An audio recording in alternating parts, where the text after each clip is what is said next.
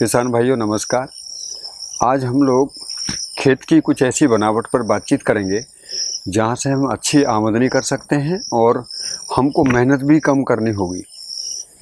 साथियों, हम खेत में जो हमारी मेंढबंदी है, इसको हम बफर जोन के रूप में सजाते हैं।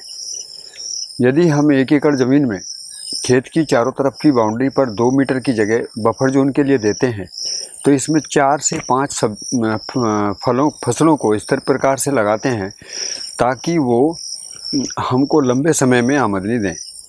इसमें हम मुख्य रूप से, अभी आप देख रहे हैं कि मेरे सामने जहाँ मैं खड़ा हूँ, यहाँ पर आपको एक लाइन केले की दिख रही है और उसी के साथ साथ बकायन के पौधे हैं और उसी के साथ में चारा घास है। किसान भाइयों, जिनके पास में पशु हैं और जिनको चारे की ज़रूरत है या नहीं भी उनके पास पशु हैं और वो चारे को निकाल कर बेच सकते हैं बाज़ार में तो हम एक एकड़ की बाउंड्री से यहाँ यदि चारा लगाते हैं तो लगभग 400 कुंटल चारा निकाल सकते हैं।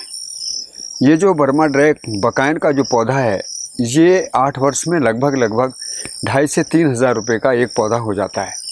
इसी प्रकार केला हमको हर वर्ष 10 से 20 किलो की आमदनी देता है। हम केले की दो पौधों के बीच में सर्पगंधा और उसके सारे, सारा जो जगह बीज की बची हुई है, उसमें सतावर जैसी चीज़ों को लगाते हैं। बकायन के जो पौधे हैं, इस पर हम कोंच की कोंच के पौधों को लगा सकते हैं। तो इस प्रकार बफर जोन में चार से पाँच चीज़ें हमारी बराबर चलती रहती हैं। और ये हमारे खेत की सुरक्षा भी करता है। सुरक्षा का मतलब है, बाहर से जो कीड़े आते हैं, वो चारा घास से रुक जाते हैं। ज़मीन की सतह से यदि कोई चीज़ पानी के द्वारा खेत में जाती है उसको भी जड़ों के द्वारा रुकावट होती है और चूँकि ये बफर जोन 30-40 फुट ऊंचाई तक भी जगह रखती है तो 30-40 फुट तक खेत के अंदर जाने वाली जितनी भी गंदगियाँ हैं, अनचाही चीज़ें हैं, उन सबको रोकने का विधान है। लेकिन बड़ी बात साथियों ये है कि जो मेड आज तक हमारी खाली पड़ी हैं उनको हम सजाकर क्यों ना अर्थव्यवस्था में बदल दें और हम डेढ़ से दो लाख रुपया इस बफर जोन के द्वारा निकाल सकते हैं जो अभी हम पूरे ज़मीन के पूरे एक एकड़ ज़मीन से नहीं निकाल पा रहे हैं। सर बहुत सारे किसान भाइयों को ये भ्रांतियाँ कि इसका छाया पड़ेगी खेत की फ़सलों में। हम्म। तो ऐसा कुछ है? इसमें हम लोगों ने पौधे इस प्रकार के चयन किए गए हैं जैसे बर्मन रेख है इसकी छाया पड़ती नहीं। हाँ बकायन की छाया नहीं पड़ती चारा घास बार बार कटती रहती है और जो केला है, उसकी छाया भी नहीं पड़ती है।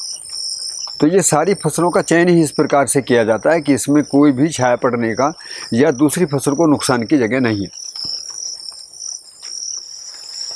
किसान भाइयों, खेत के अंदर जो दूसरा जगह है, वो है जहाँ पर हम एक वर्ष से ज़्यादा अवधि की फ़सलें लगाते हैं और दूसरी जगह वो है जहाँ पर हम एक वर्ष से कम अवधि की फ़सलें लगाते हैं। तो ऐसा होने से हम गन्ना, अभी आप देख रहे हैं कि गन्ना अलग है और इसके साथ साथ हल्दी लगी हुई है। हल्दी में हमने पहले मक्का लगाई थी और इसके बाद में हल्दी के साथ अलसी लेंगे। तो तीन फ़सलें यहाँ से और तीन फ़सलें गन्ने के साथ। क्योंकि गन्ना जब लगाया, सितंबर में गन्ना यदि लगाते हैं तो गन्ने के साथ में लहसुन और गन्ने के साथ जो मेड़बंदी है उस पर कोई भी कंद लेते हैं। तो गन्ने के साथ लहसुन और कंद वाली फ़सलें ताकि गन्ने को पूरी खुराक मिले और आमदनी भी मिले। हम उसी, इसी एरिया में से गन्ने का उत्पादन भी किसानों के एक एकड़ के बराबर ही निकालते हैं। तो सर आप बहुत सारे किसान भाई ये सोचते हैं कि इससे उनकी इनकम कैसे बढ़ेगी? हाँ। आप उनको थोड़ा इसका गणित बता सकते हैं? इसका अर्थशास्त्र हाँ, हाँ। कैसे रहेगा? बिल्कुल। देखिए बहुत सुंदर बात है कि गणित बढ़ाने का मतलब है कि हम पौधे पूरे पौधे को एक विस्तार देते हैं। जैसे गन्ने के पौधे को विस्तार मिलता है तो वही गन्ना 10 से 15 गन्ने एक जगह पैदा कर लेता है।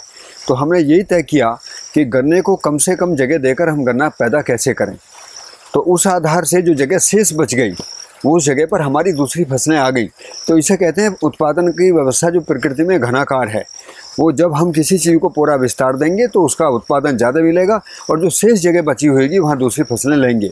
जब हम गन्ने को इकट्ठा लगाते हैं तो उससे क्या है, गन्ने का घनत्व बिगड़ जाता है और गन्ने का उत्पादन उतना नहीं निकल पाता जितना निकलना चाहिए। तो एक फ़सल में कभी भी सतही उत्पादन का गणितीय आकलन ठीक ठीक होता ही नहीं। यदि आपको अर्थव्यवस्था बढ़ानी है आपको उत्पादन ज़्यादा लेना है तो आपको प्रकृति के घनाकार को समझना होगा। इसको बहुत सारे लोग मल्टीलेयर प्रोडक्शन सिस्टम भी बोलते हैं। तो आपका बहुत बहुत धन्यवाद।